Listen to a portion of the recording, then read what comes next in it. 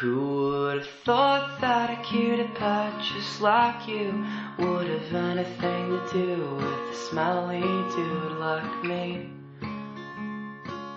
I find it hard to believe.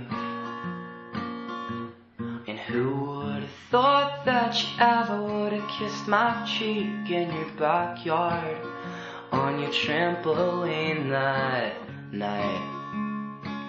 I never put it by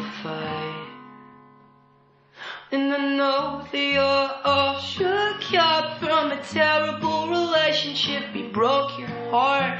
Yeah, he tore you into pieces. But I promise you, dear, I'll never touch you like he did.